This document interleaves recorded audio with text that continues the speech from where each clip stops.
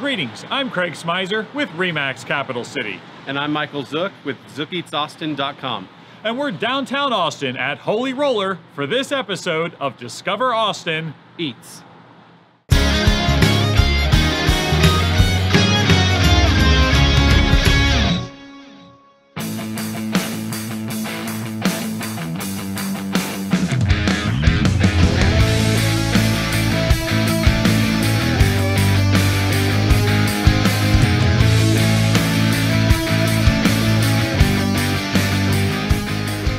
So, Michael, tell us why you selected Holy Roller today.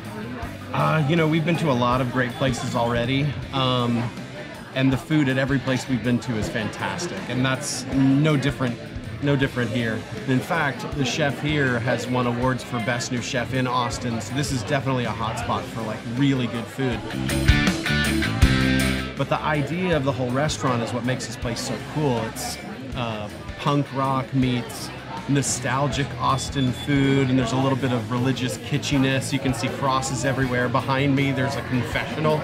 Um, so you leave this place feeling great about what you just ordered, but also it's it's a really cool experience. Uh, you mentioned the confessional. Tell us a little story about that. Uh, so over near the restrooms, there's a little confessional with some lit candles, and you can write down your confessions and put them in the box, to which the kitchen staff, I think, is the only ones privy to reading those. So you're probably safe, but they go through those and then they try to make drink specials out of the most exciting confessionals.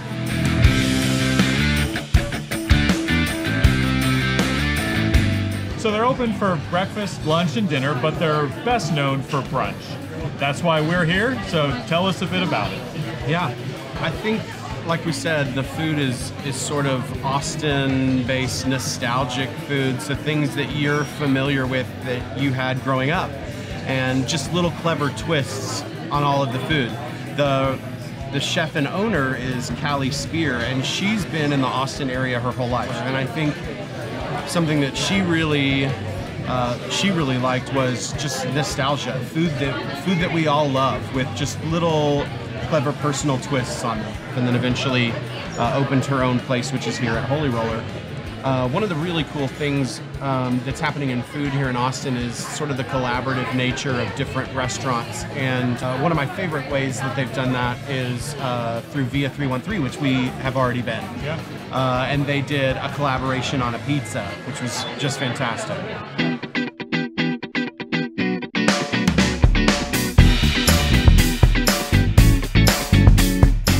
So as you look around the restaurant, there's just so much neat stuff. And in fact, uh, Aaron, who's waiting on us today, said there's so many stories in here that even I don't know because there's just so much cool memorabilia and things to look at. Um, but one of the things, the place is centered by a really large bar. But at the same time, uh, the kitchen is tiny. So you talk about having a big bar, the restaurant's actually pretty big. We got here at 10, and at 10:10 the restaurant was full. Yeah. And um, they're able to put out food consistently with that tiny kitchen to the entire Speaking restaurant. of which, Oh my gosh. I'm Look excited. at The butterscotch Yes. soft serve, pancakes with fresh berries That's and mine. soft serve, part of my reach. excellent. And here we have the Casbah, the chicken biscuit, side of fries. You have a little bit of syrup there to drizzle over your biscuit. Beautiful. All right. Enjoy. Thank you Thank so you very much,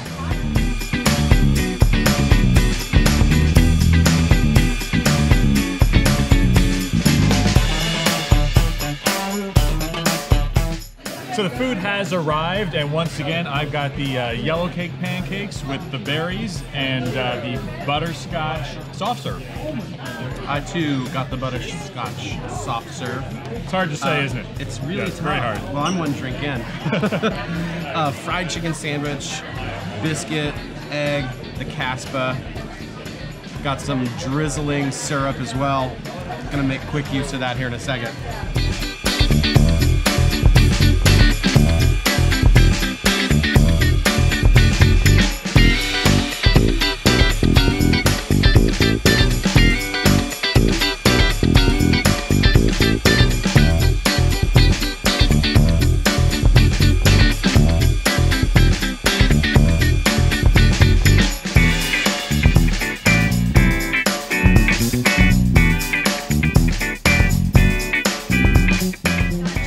Downtown, Holy Roller is an excellent place to check out. Food's just incredible. It's incredible, yeah. And if you want to do Sunday morning brunch battle and then followed by a quick nap, this is the place to be.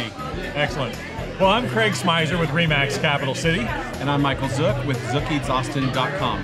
Thanks for joining us for this episode of Discover Austin Eats.